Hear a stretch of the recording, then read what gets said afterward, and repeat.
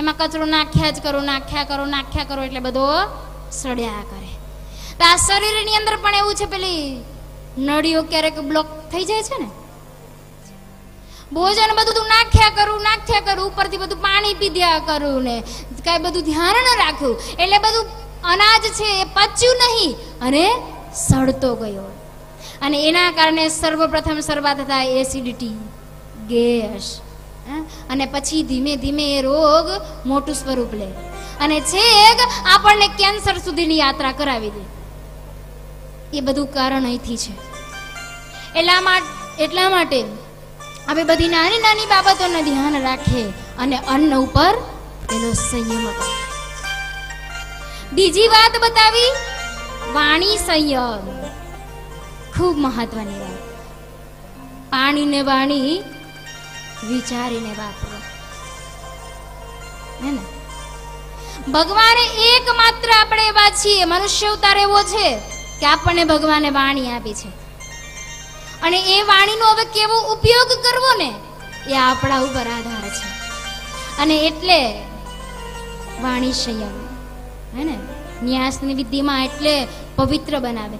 મુખ પવિત્ર બને, વાણી આપણી પવિત્ર બને, કે ક્યારે અપવિત્ર વાણી ઉચ્ચારીએ રહી પણ તમે કહેશો કે હવે ઘરમાં બધું થાય જ એવું તો શું કરવાનું? તો પછી શું કરવાનું? બોલવું ન પડે? તમે હોય તો ખબર પડે. મૌન થઈ જાઓ? એમાં આપણા રાષ્ટ્રપિતા મહાત્મા ગાંધીજી મૌનનું વધારે મહત્વ આપતા. મૌનની અંદર વધારે તાકાત છે. પરમ પૂજ્ય ગુરુદેવ પણ હતા ને ત્યારથી સાધના કરાવે છે, મૌન સાધના. શાંતિ કુંજની અંદર મૌન સાધના ચાલી રહી છે.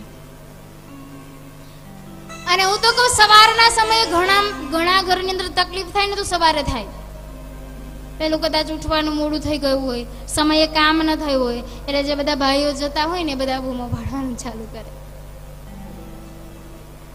એટલે પછી આપણને શાંતિ ન રહે એટલે આપણે સામે બોલીએ. એટલે આજથી બીજો નિયમ કે સવારે બે કે ત્રણ કલાક મૌન.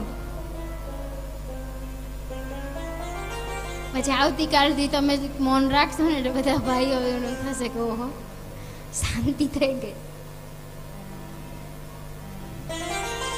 ઘરમાં વધારે બોલે ને તો બેનો જ બોલે.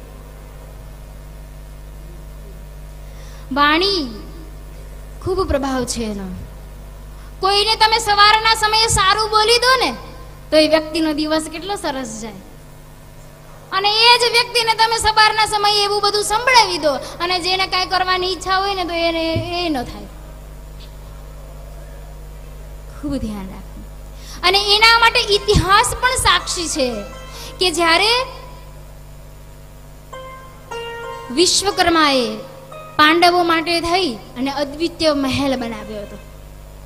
અને મહેલની રચના આવી હતી કે જ્યાં જમીન હોય ને, ત્યાં પાણી દેખાય અને જ્યાં વાસ્તવમાં પાણી છે ને, ત્યાં જમીન દેખાય. અને આ મહેલની રચના જોવા માટે થઈ અને દુર્યોધન અને એની સાથે કેટલાય ભાઈઓ જોવા માટે આવ્યા. અને દ્રૌપદીજી ઝરૂખામાં બેઠા છે અને જોઈ રહ્યા છે.